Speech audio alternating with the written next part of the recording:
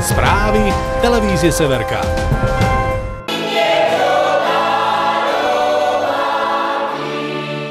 Tak toto tu ešte nebolo. Dlhoročne populárny terchovský ľudový muzikál sa pre veľký záujem verejnosti prezentoval aj v Žiline. Predvianočný koncert Čas radosti veselosti, ktorého súčasťou bola jasličková pobožnosť, prilákal do katedrály Najsvetejšej Trojice mnoho Žilinčanov. Ľudoví speváci a muzikanti ponúkli originálny pohľad na narodenie Ježiša Krista podľa predstav obyvateľov Terchovej. Na koncerte vystúpili zo skupenia heligonkárov, minčovníkov a tanečníkov všetkých vekových kategórií a spoločne tak pod taktovkou Rudolfa Patrnčiaka priblížili udalosti v Betleheme. Vianočnú atmosféru prišiel načerpať aj primátor mesta Žilina Igor Choma, predseda Žilinského samozprávneho kraja Juraj Blanár a generálny vikár Žilinskej diecezy Ladislav Stromček. 40. ročník originálnej jasličkovej pobožnosti v podaní Terchovcov môžete vidieť ešte 25.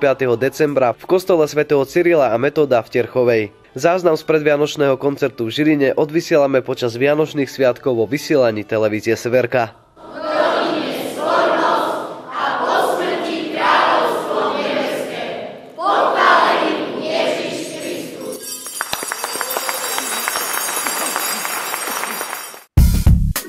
Sledujte spravodajstvo televízie Severka. Každú hodinu aktuálne informácie zo severného Slovenska. Televízia Severka. To, čo nás spája.